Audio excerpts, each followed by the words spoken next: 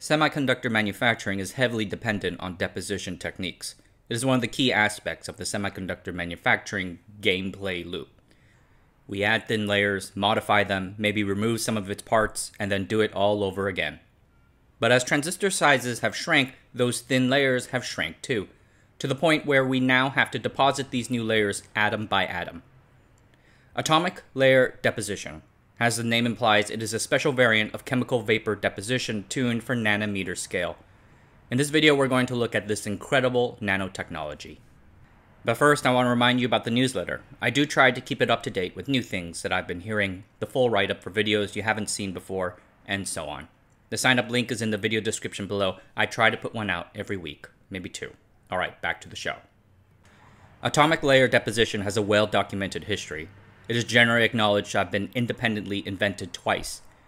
In the 1960s, the Soviet Union produced a molecular layering technique.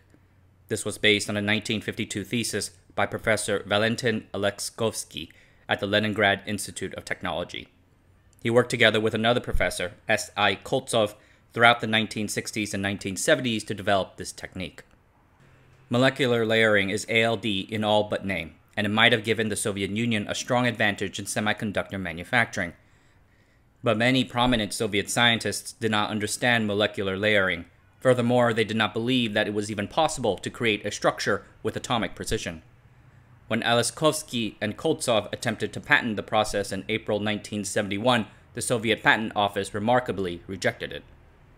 The two and their colleagues continued their work in academia, but no industrial level activities were ever initiated yet another missed opportunity for the Soviet Union.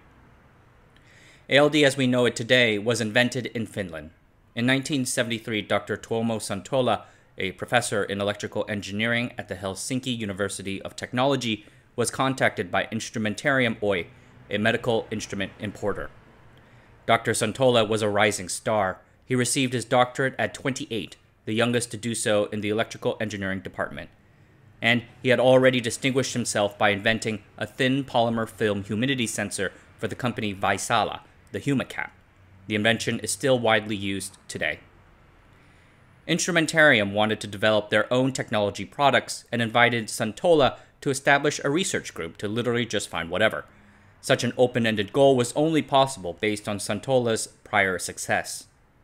Eventually, Suntola and his team proposed two promising areas of study ion selective sensors, and electroluminescent flat panel displays. The latter are a type of flat panel display different from LEDs or OLEDs. They're quite compact, power efficient, and deliver high contrast and brightness.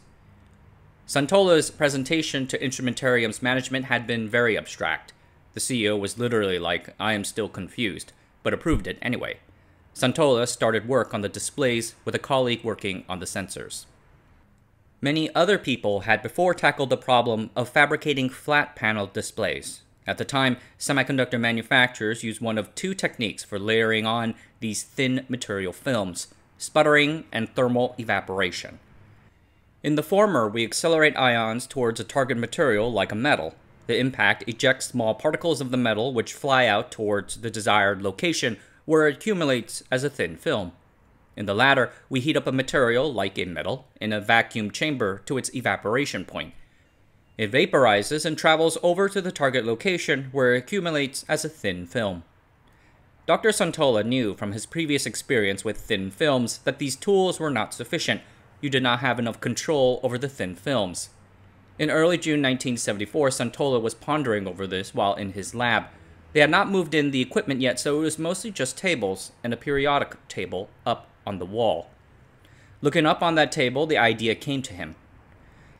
Looking at the periodic table and thinking of the overall symmetry in nature, to me came the idea of serving the complementary elements of a compound sequentially, one at a time, onto a surface. This is the crux of atomic layer deposition, though back then they called it atomic layer epitaxy. Like its big brother, chemical vapor deposition, atomic layer deposition brings together various chemical precursors. The big difference is in how we bring in the chemicals to the substrate. Rather than just throwing them all in there like an instant pot and letting them go to town, we introduce the reactants one after the other through a set of pulse and purge actions. First, we pulse a primary reactant onto the substrate. Some of this reactant gets chemically absorbed into said substrate. Then we purge the reactant by flushing an inert gas through the reactor chamber. It cleans off any reactants that has not been absorbed into the substrate. This is our first pulse purge cycle. Now we do a second round of pulse purge actions but with a different chemical.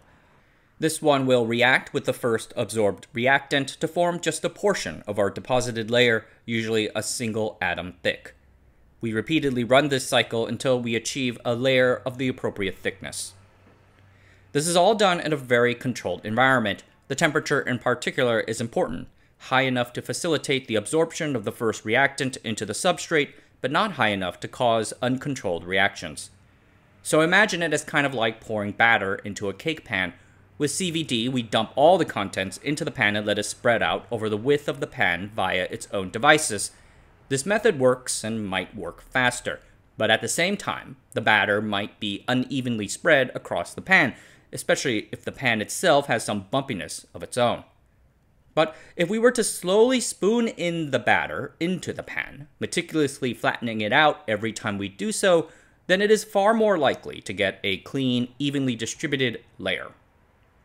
The basic form of ALD is to have these two alternating A and B steps, but more advanced versions of the technique can have multiple steps.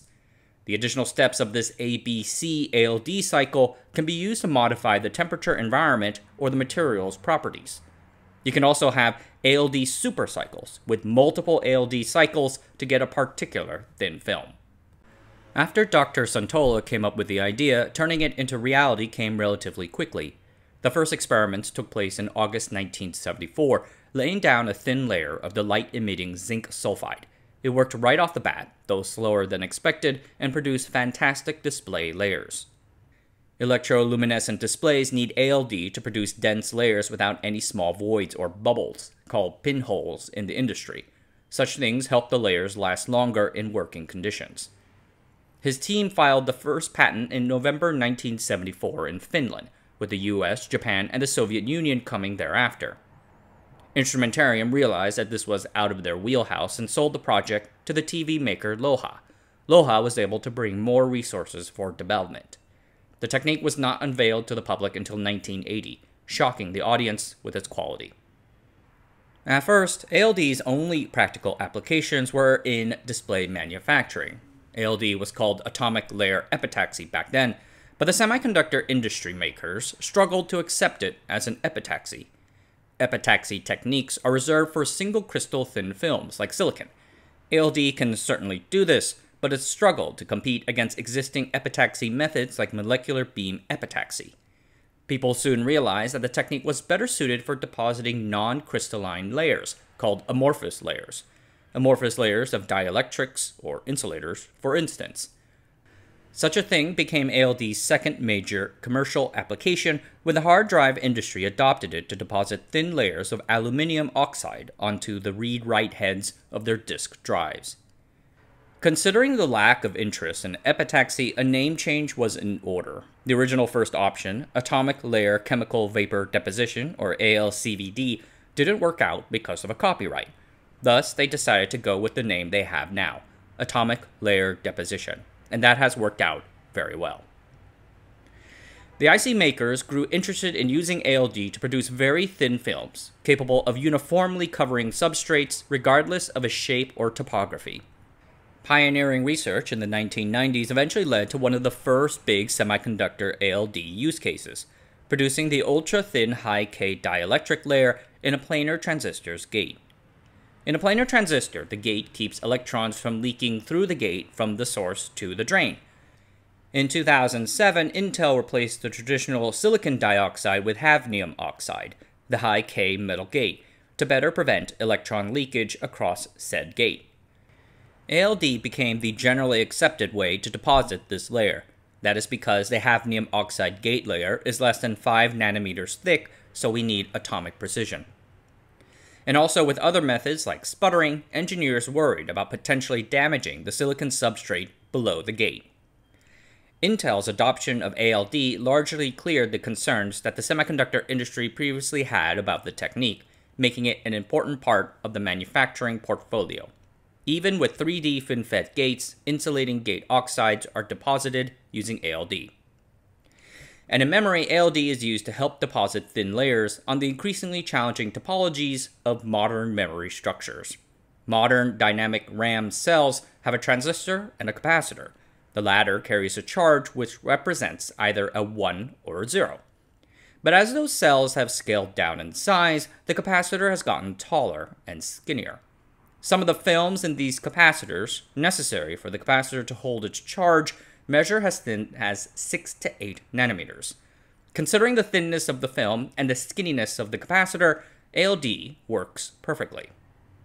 In 1998, Samsung announced that they would adopt ALD for producing their 256 megabit dynamic RAM products with their 180 nanometer process, though it seems like this was not actually adopted until the 1 gigabit DRAM generation. IC makers have also adopted ALD into another significant portion of the semiconductor manufacturing process, back end of the line processes or BEOL.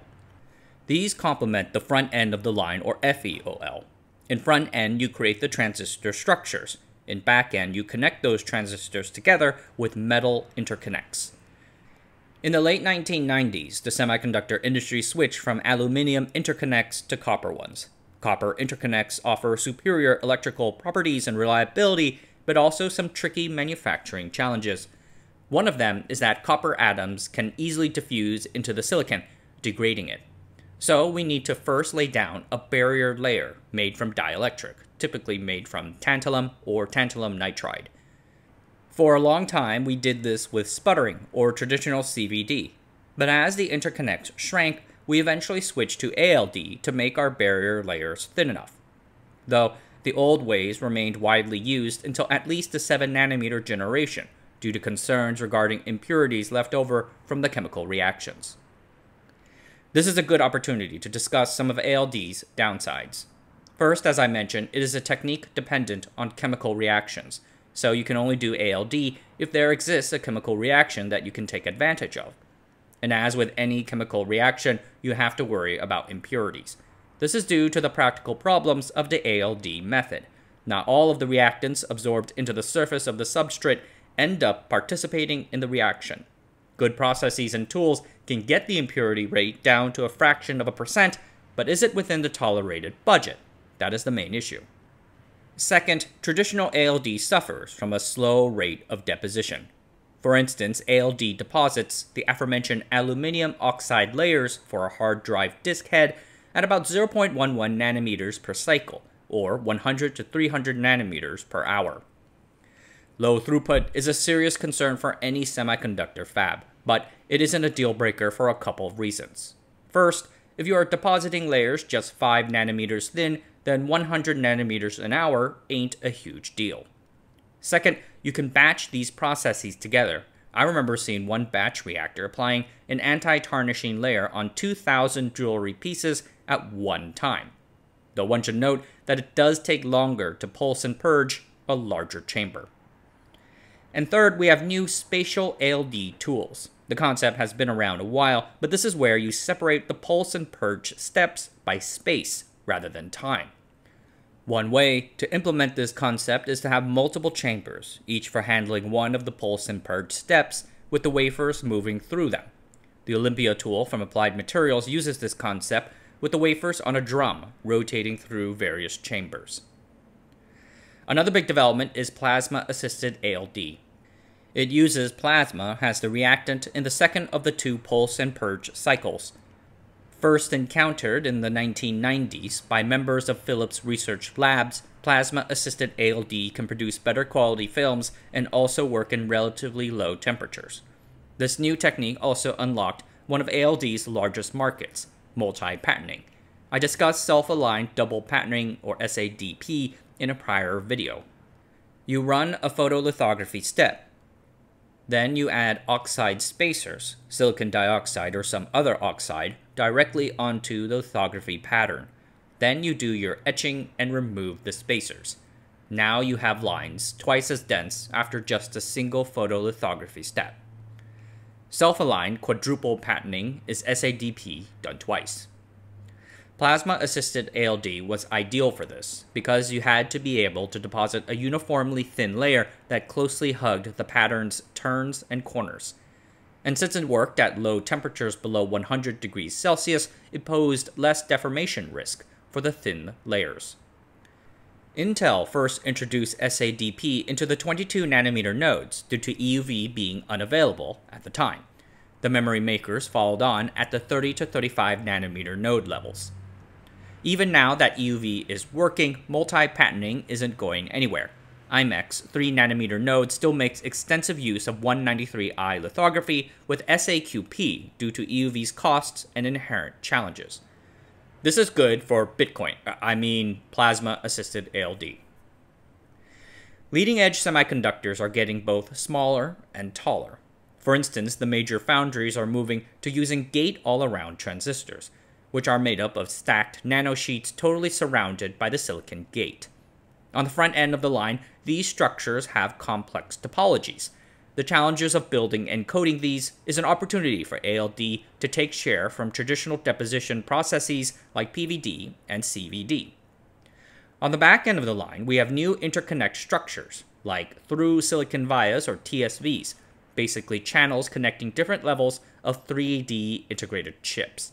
ALD already plays a big role in 2D copper interconnects and will continue that when they go to 3D. The work started by Dr. Suntola's team in the 1970s continues to mature and spread throughout the industry over 50 years later. With leading edge semiconductors, we're moving around individual molecules and atoms now. ALD is one of the few tools capable of letting us do it. Alright, everyone, that's it for tonight. Thanks for watching. Subscribe to the channel, sign up for the newsletter, and I'll see you guys next time.